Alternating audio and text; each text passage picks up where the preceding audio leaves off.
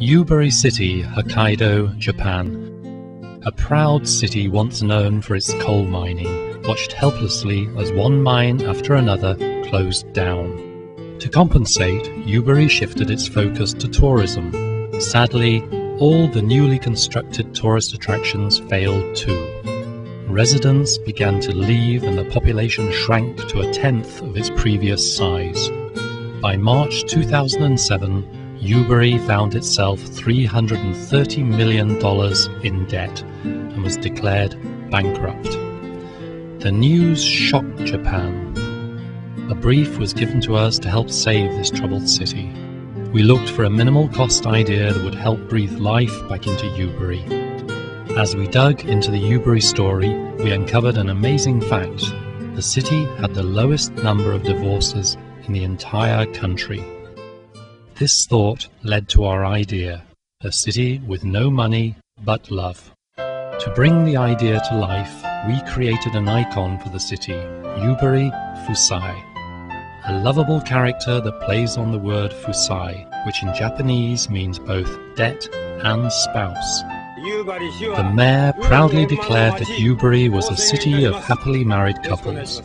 To add weight to this claim, we helped the City Council establish Japan's first Department of Happily Married Couples, from which official happily married certificates were issued to both locals and visitors.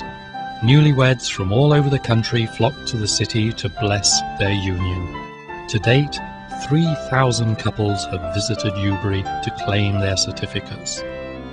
Within a short period of time, the whole city mobilized behind the project, and revenue generating ideas of all shapes and sizes began to appear.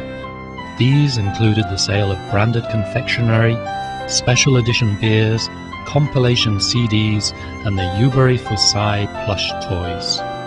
The amount of free PR generated by these efforts exceeded all expectations and in a nation obsessed by cute or kawaii characters like Hello Kitty, the lovable Yubari Fusai icon became the talk of the town, the country, and of course the TV networks.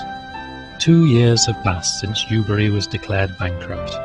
In that time, the number of annual visitors has increased by 10% year on year, and over $31 million have been generated towards alleviating the debt.